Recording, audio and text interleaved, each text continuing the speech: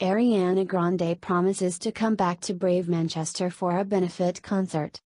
Days after a suicide bomber attacked the Manchester Arena right after Ariana Grande's concert, she sent her prayers and deepest condolences to the victims and their families for the unfortunate incident through a statement posted on May 26.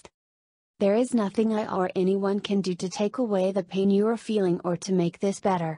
However, I extend my hand and heart and everything I possibly can give to you and yours, should you want or need my help in any way, she said.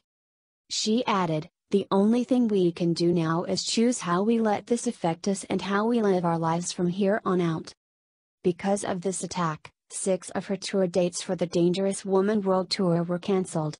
Today, she vowed to return to the incredibly brave city of Manchester and have a benefit concert in honor for and to raise money for the victims and their families.